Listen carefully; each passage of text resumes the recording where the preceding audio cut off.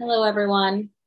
Welcome to Stardog Demo Day. If you're here for our demo day on using a knowledge graph to be better manage risk, you're in the right place.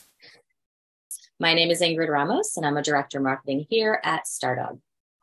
We run demo days, uh, try to do it as often as possible here every couple weeks, uh, really to let you learn about our platform, about knowledge graph, and see under the hood, get into the product, and see what kind of business challenges knowledge graph can solve. Uh, today's demo is going to focus on risk. And we have with us today Greg Grubbs, who is a senior solutions consultant here at Stardog. Uh, Greg has previously worked at organizations uh, around data warehousing, data engineering, machine learning. I really appreciate Greg's perspective uh, because he's technical and he's worked at a variety of organizations that achieve these goals in different ways, uh, including relational uh, databases, labeled property graphs. But we've got him here now uh, talking about knowledge graphs. So I think he's a great person to share some of the differentiators uh, across some of those ways to achieve uh, these goals.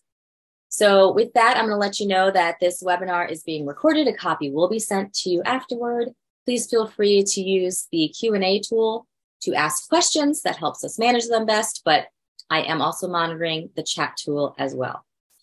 Uh, we will try to get to the Q&A uh, likely after the demo, but if there's anything going on, just let me know uh, during the demo as well, and we'll get into that. All right, well, with that, I'm going to go ahead and turn it over to Greg. All right, thank you, Ingrid. All right, so uh, what we're going to do today is uh, we're going to give uh, a quick overview of Enterprise Knowledge Graph and um, show integration with uh, diverse data sources uh, because uh, one of the big uh, points is that you and uh, every organization probably has a lot of different not just data sources but data silos and things that you might not be able to change yourselves and yet you need to get you know deep insight from those data sources uh, what are the uses of, uh, of reasoning and inference in a graph? Uh, and then we'll get to demo and Q&A. And if I'm not mistaken, I think we have uh, a quick poll to do first. Is that right, Ingrid? Yes, I'm going to go ahead and deploy that in a moment. There okay. you go. Just to get an idea of, uh, you know, where we're at with uh, in understanding knowledge graph.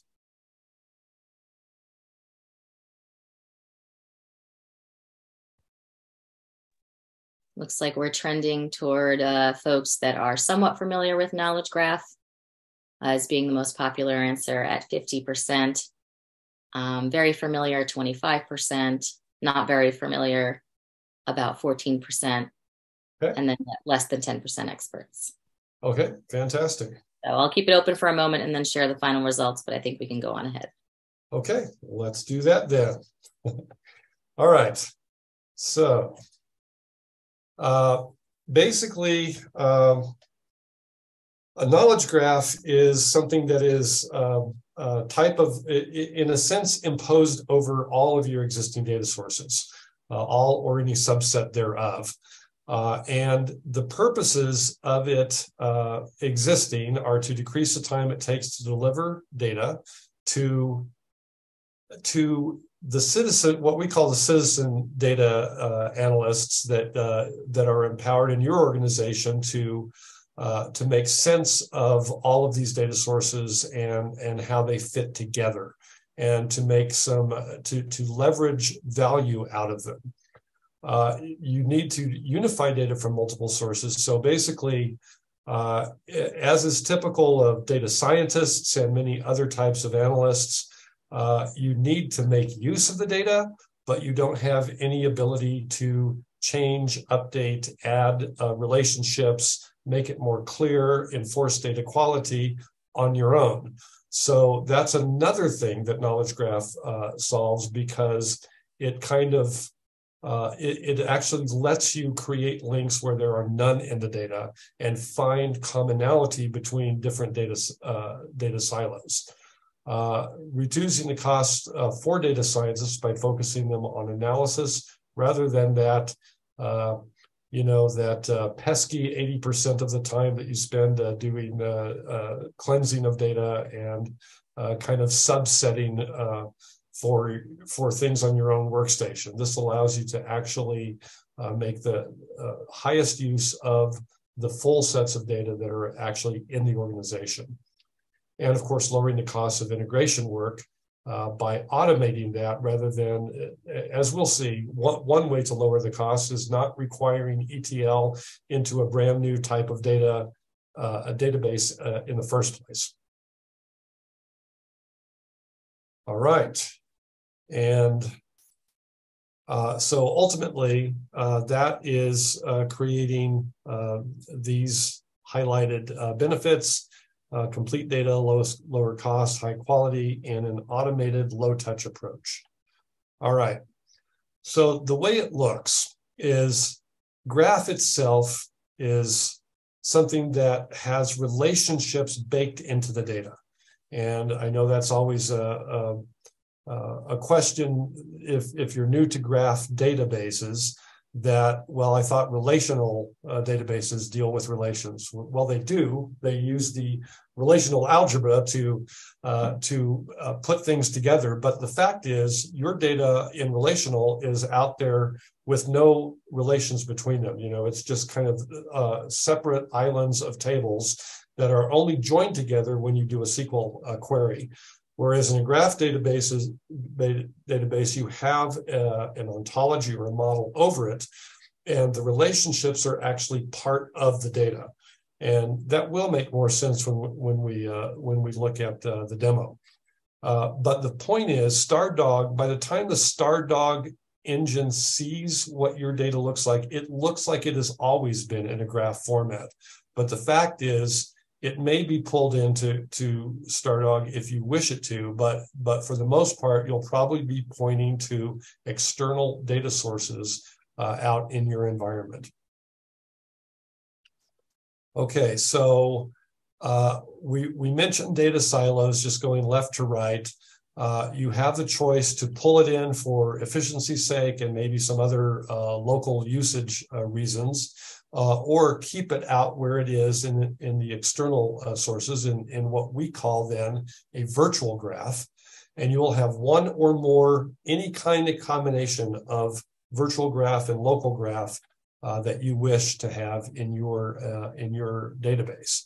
Uh, you have the ability because when the data is in a graph form, uh, certain patterns emerge from it and it might indicate where sparse sparse data is not uh, representing all of the relationships you have.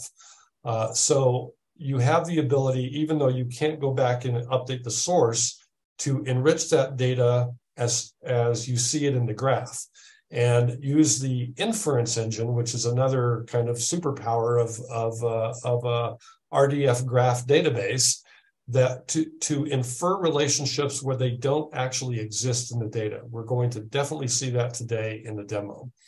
And then the whole other side of that data silo is that uh, the Stardog database itself can be made to look like a relational database to external tools such as Tableau and Power BI.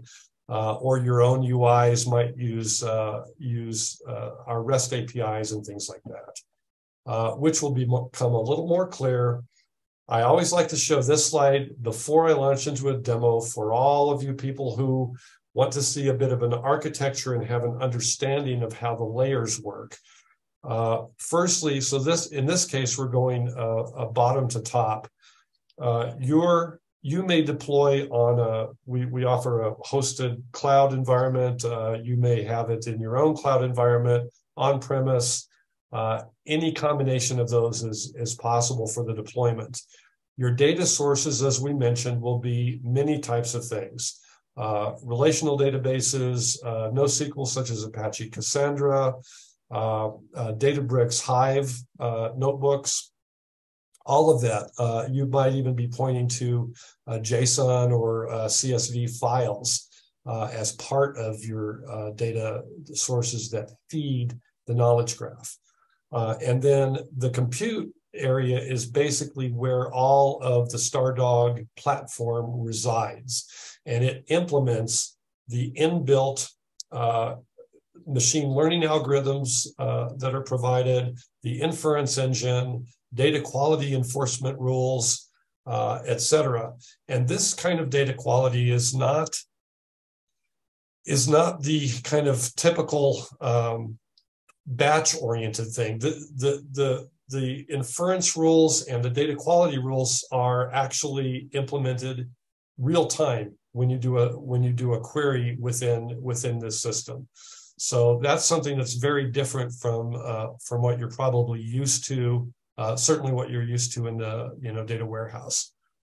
And then uh, the only other thing that I want to add, to add uh, as kind of uh, this is not you know an architecture session, but uh, that there is a layer above where you can have one or more models pointing to the same data, uh, and because those models are different, you might you might have them associated with different lines of business or different user groups. So one particular line of business might be able to see uh, only certain data with no personally identifiable information.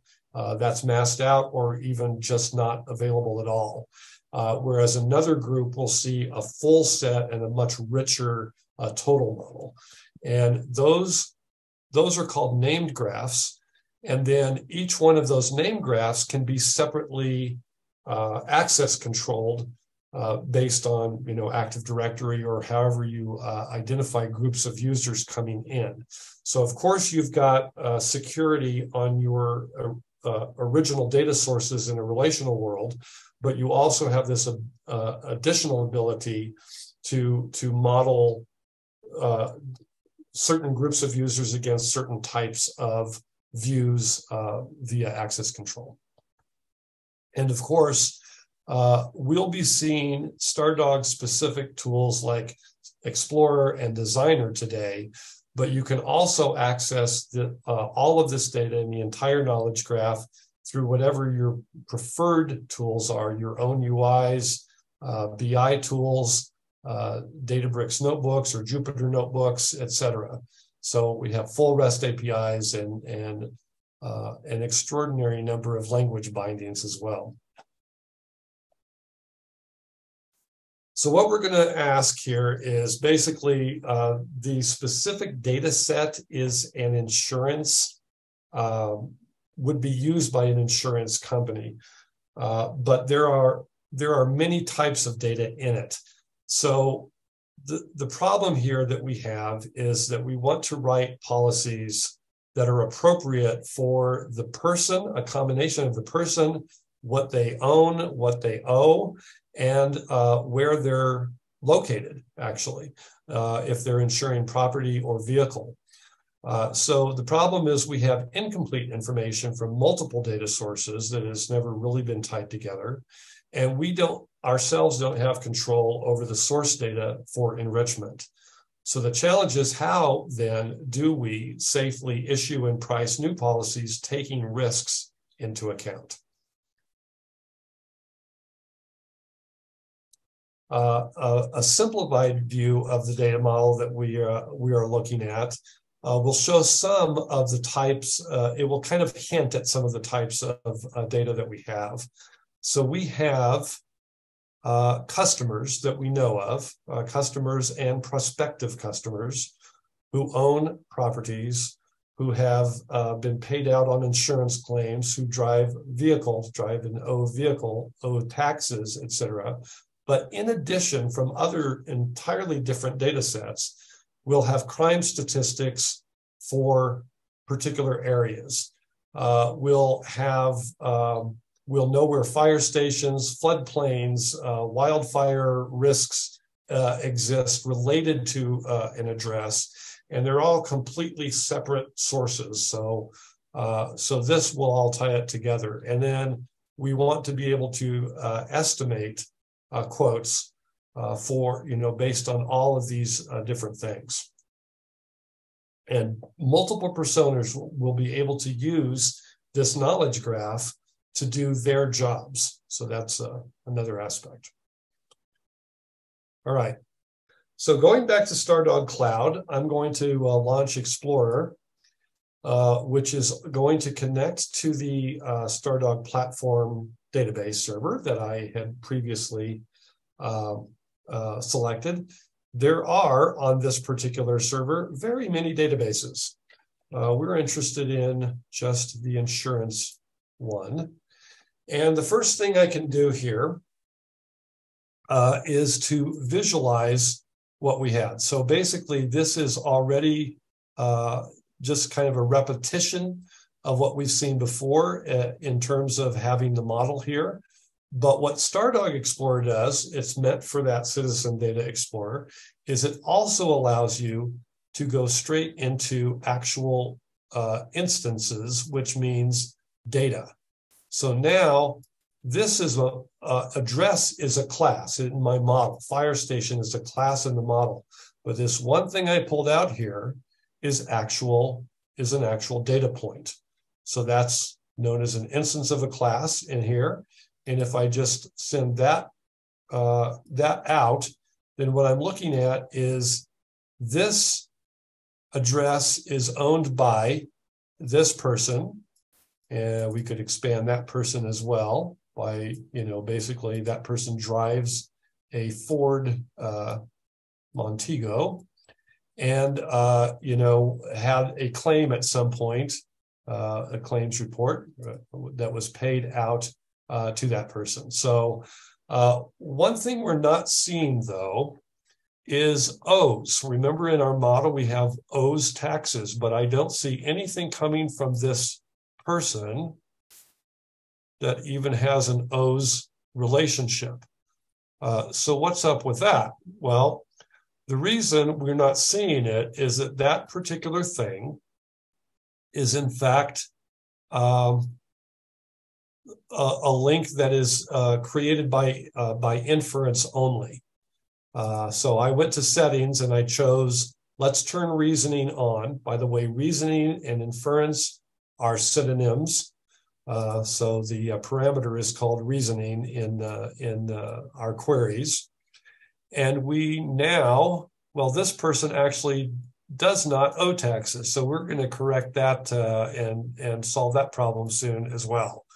Uh, one thing that you see is now we have we have multicolored circles here. Why is that? It's because the inference engine has determined that this address is very closely related to assessments because tax assessments are made against uh, addresses and very closely related to uh, features, which are um, basically proximity to floodplains and uh, wildfire zones and things like that. Okay, but to really find out uh, the mystery that I was trying to solve, I'm going to turn reasoning off again just for fun. I can go to the query builder. Again, remember this is meant for the citizen data scientist uh, and citizen analyst who may not know the specific query language. So what I'm look, going to be interested in finding is customers who have a relationship called owes to taxes. So customer that owe taxes. When I run that query, I get uh, a set of results. Uh, and basically, it's using the inference engine and I and uh, returns a lot of results. Uh, I see that some of these people owe more than one tax, and I'm kind of interested in just randomly choosing one of them. So this Jonathan Hancock, uh, I'll look at that person and send send Jonathan Hancock to the graph, and then we're going to see uh, that there are two taxes owed. Now, I don't know anything about these, but if I click and say expand by all relationships, and then maybe double click on this one also, okay, now I see a whole set of relationships. And what this tells me is that there is one tax owed against the vehicle and another tax owed against the property because there was an assessment for that amount on that property. But there was no direct tax owed link in any of the data, that's purely uh, uh, uh, an aspect of inference.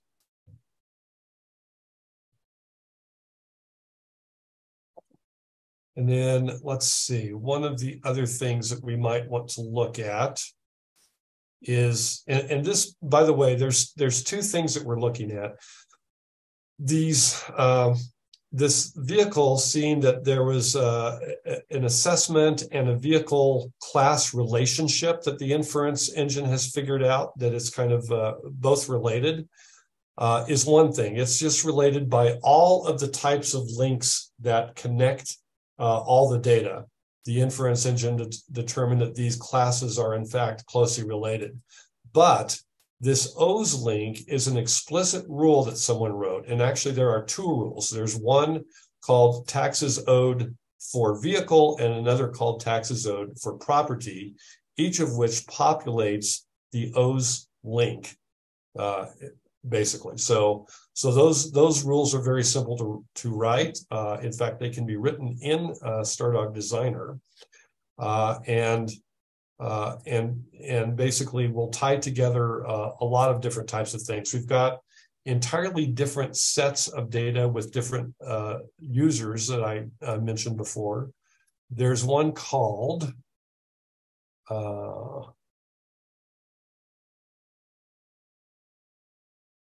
Well, let's just look at an address. Actually, let, let's look at a, I know there's a specific address that might be interesting. so uh, actually, I'm looking for a customer that owns an address and that address has a, yeah, we can just look for a full address equal to uh, 1206. And notice that it's helping me uh, complete I don't have case insensitive search on, so let's run that. And then uh, if we expand by all uh, links here, this person uh, we can see is interesting because they have both an inferred uh, inferred links to taxes owed, but also uh, inferred uh, inferences to to uh, claims reports uh, that have that have been paid out. So this person has had uh, five uh, claims, and on their address, if we look uh, closer at the address, that's what I really. Let's just look at the address by itself.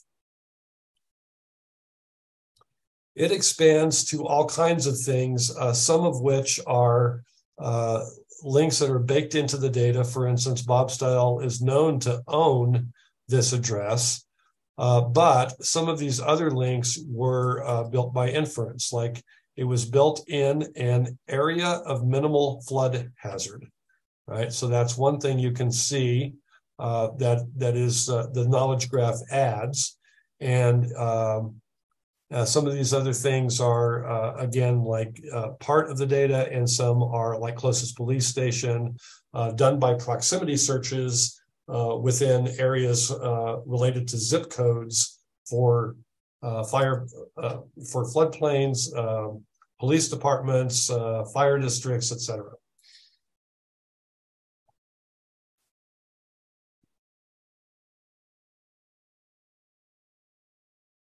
All right. Uh, any questions uh, about any of this?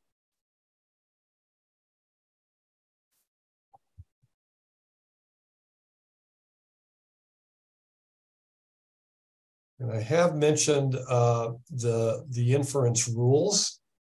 Uh, I can show uh, what those look like, but uh, basically the, um, the bottom line is, uh, again, in one of the uh, in one of the UIs that we provide, uh, it's called Stardog Studio, and that's a lower level thing that actually lets people uh, create queries that can feed uh, dashboards and external UIs, et cetera.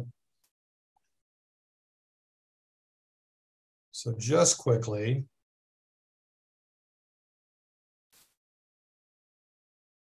I will show that. And I think this is, yeah, this is a, a query that shows the same information that we saw. But what we're interested uh, in doing is actually running uh, running quotes uh, against that. So basically, there are additional inference rules that uh, follow those taxes owed that followed uh, follow uh, hazard levels within specific uh, address places, and then we'll just with a with a simple query create a, a, predicted premium that we can that we can price a new policy on based on risk uh, both of people and location. And again, this is not something that you would uh, be running necessarily or your users would be using, but they would be seeing the results of this query in a UI.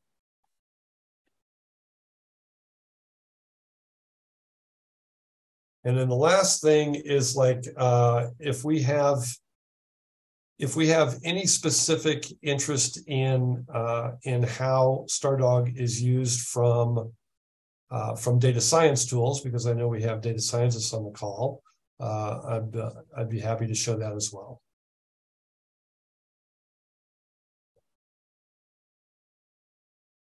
Great. Uh, we do have a couple of questions on deck as well, so we're going to hit Great. those. Um, and some of this, uh, let's see.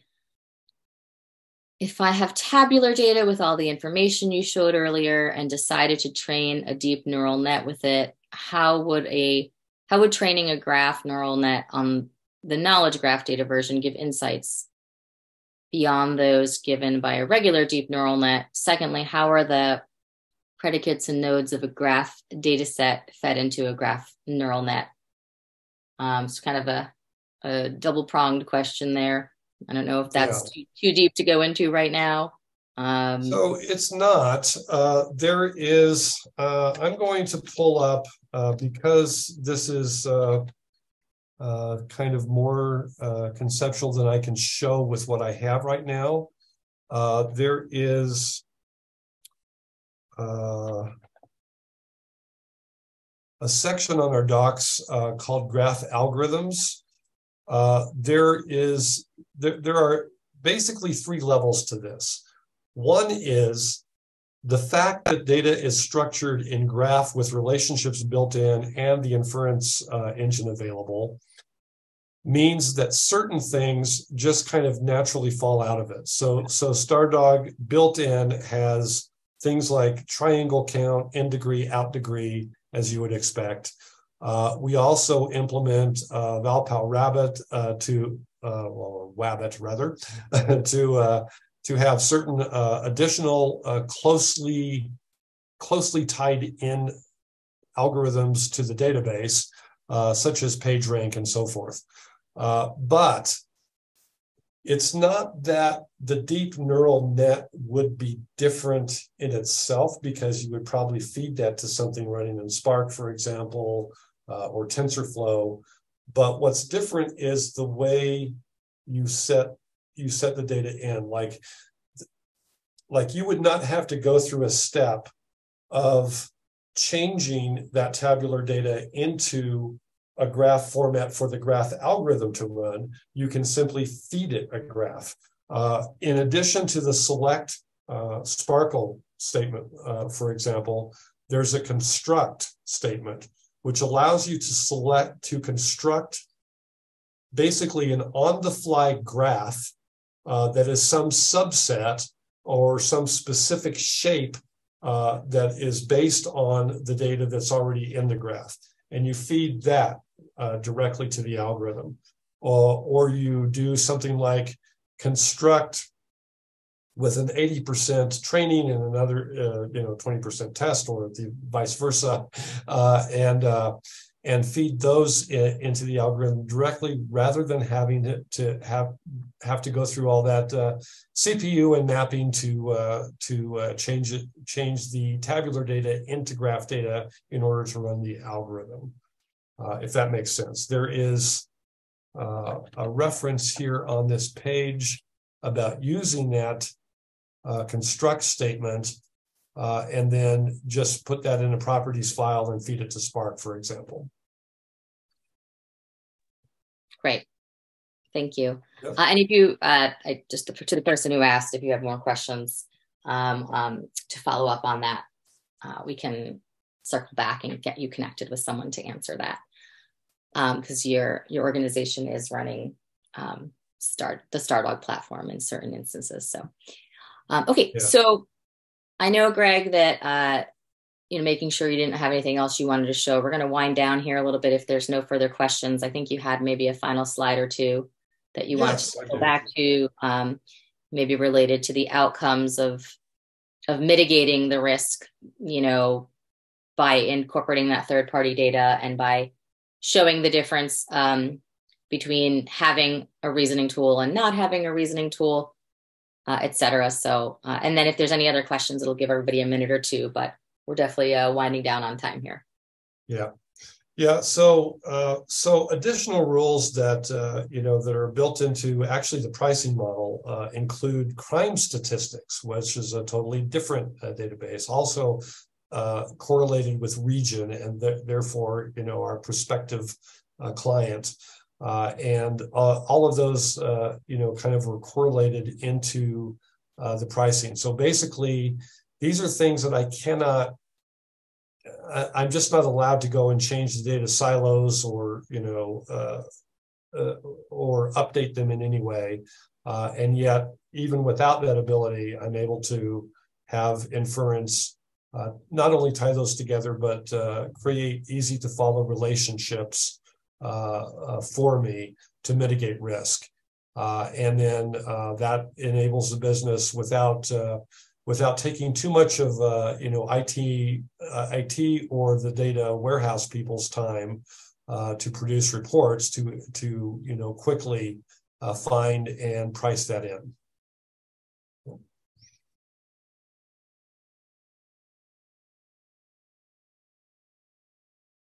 Great, thank you so much. It looks like, uh, and then I guess the last question here was uh, importing an ontology that was created in Protege, uh, which I think oh, also is addressed in our docs uh, yes, file. It, it, it, certainly is, but you know, just uh, the the short and sweet of it is uh, basically uh, we'll read any kind of uh, you know W3C RDF format. Therefore, uh, in Protege, save as RDF XML uh, or Turtle for that matter, but uh, uh, whatever format you like, and then uh, and then just uh, pull that into Stardog. It's like you can go into Stardog Studio actually and just uh, load it into the database, and then voila, you have your ontology. And and as soon as you do, then you'll be able to see that and and either continue to modify it or simply map data to it in Stardog Designer.